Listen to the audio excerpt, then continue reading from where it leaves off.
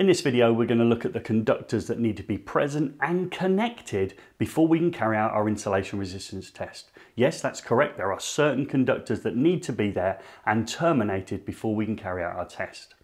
Often at college we're working on small wooden boards and the precautions with insulation resistance is that we're thinking about maybe removing all load. So in other words, disconnecting our lamps, our neons and unplugging things from socket outlets. Making sure all our covers are on, screwed back and our switches are left in the on position before we start our insulation resistance test. But when we step back from that and look at our rig, actually the conductors that should be connected during this test on our small wooden boards won't be present. And as we move through our level one, two, three, and onto our apprenticeships, it's important that we understand there are certain elements that need to be in place before carrying out this test. In order to help us, we'll look in the on-site guide, as well as using this test rig so we can see the conductors that actually need to be in place before carrying out the test. I've got one of my test rigs here and I've disconnected the 6mm cable that I've maybe tested for continuity CPC and polarity and it might be a case now I'm thinking what I can do now is carry out the insulation resistance test with it disconnected from the consumer unit. And I might want to do that because there's some other things in here that raise concerns when carrying out the test. If you look in the on-site guide, it says about making sure your SPDs are disconnected when carrying out your insulation resistance test, as well as RCDs because they contain electronic components. So if we look here, we've got a row of RCBOs, which will obviously have electronic components in. The circuit I've disconnected also has a ton of electronics in it because this is an AFDD. So effectively it's got a mini computer inside here and the last thing I'd want to do is pass 500 volts through it and potentially damage it. So I'm thinking I'll just leave it disconnected, I'll carry out my insulation resistance test and then I'll reconnect it and torque up the settings accordingly. Well, that could be the case, and you can do that, but one of the conductors will need to be in place. So as you look at the consumer unit, you can see I've got no supply coming into here. There's no feed in, exactly the same as the images shown in the on-site guide. And I've got all three conductors disconnected. But one of these conductors needs to be in place, and that one being the circuit protective conductor, needs connecting to my earth bar, and my earth bar needs connecting to my external earth source. So I've got in this case my 16 mil earthing conductor that will go down maybe to pick up my combined neutral earth on a TNCS earthing arrangement or onto the sheath of the cable on a TNS earthing arrangement. So that must be in place as well as any protective bonding. Well, there's no protective bonding in here to gas and water, but it could be that this earthing conductor goes down to an MET and the MET has my bonding in place. So I must connect this conductor to the earth bar, which is connected to the source earth, as well as any protective bonding before carrying out my insulation resistance test. I can then carry out my insulation resistance test with these conductors disconnected, removing anything that I'm worried about down here, SPDs, AFDDs, RCBOs, etc., in order that I can carry out that test. But it's vitally important that this conductor is in place and connected to the earth source. So let's see what that is said in BS 7671's on-site guide. The first book I get all my learners to buy is the on-site guide. Remember when you're watching this video, it may have changed edition to make sure you get the latest edition. Currently this is um, 2018 and it's blue. It may have changed, but we're still gonna be looking inside our on-site guide at the latest edition. I'm gonna turn to section 10 which is guidance on testing our installations. I've blown up the pages I want to show you. I want to show you the pictures and how they lead to a story about our insulation resistance testing. So we've got here, first of all, a list that we need to become very familiar with. It's our test sequence uh, list, starting with a continuity of our protective conductors, including the main and protective bonding, in other words, the continuity of green and yellow conductors, continuity of ring final circuits, including the protective conductors, insulation resistance, polarity, and they're the four tests that we concentrate on our early studies on. And we're going to be looking obviously at this third test, insulation resistance. But let's just go through pictorially what the on-site guide shows us for the previous tests first. So down here, we've got our continuity method. There's two different ways in which we can do it. We can see we've got a temporary link and we're measuring our continuity very similar to what we do in the workshop. And obviously we operate switches for polarity, but polarity is actually that fourth test and we know that from the classroom. But when we look inside that consumer unit, there's very little stuff installed. So it's really just that outgoing circuit. There's no earthing conductor and no tails in this picture. So let's go and look at the next page in the on-site guide. Shows us a different method, this time with a long lead in order to prove our continuity of our protective conductors. It's another method.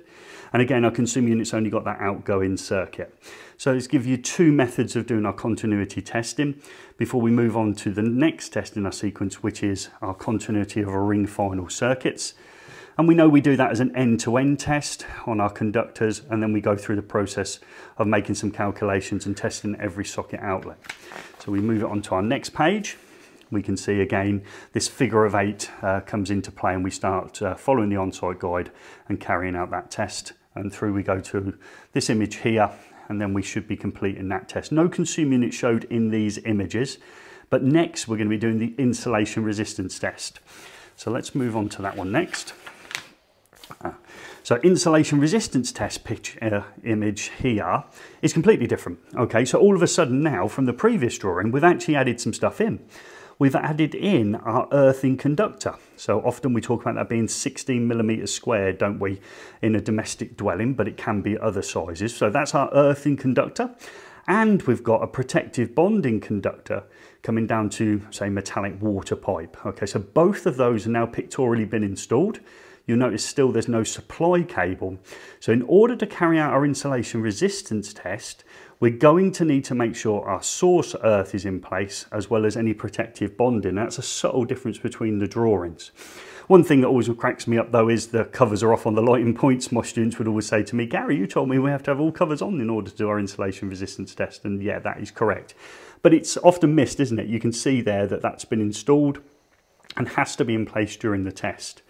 We come on to the next page. You can see some bits in here I get to highlight with my students. I get to do the uh, circuits of 400 and 230 volts are tested at 500 volts DC, minimum insulation resistance test of 1 megohm, uh, further investigation at 2, making sure SPDs and RCDs are taken into consideration and disconnected. Okay, and we highlight these bits within our work. And we come down and we look here our insulation resistance test carries on. Again, we're testing between different conductors now. But when you do read the text within here, it talks about connecting live conductors together and testing them to our protective conductor. And I've done a separate video on how to link together live conductors. Live conductors, remember, being line and neutral together and testing them to our protective conductor. And it will discuss that in here when you read through it.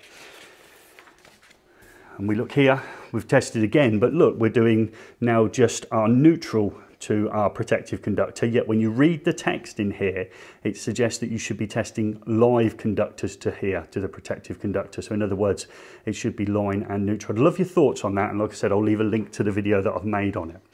And if we look here, this is the killer, this is the bit here, we've got a couple of footnotes here. The earthing and bonding connections are in place.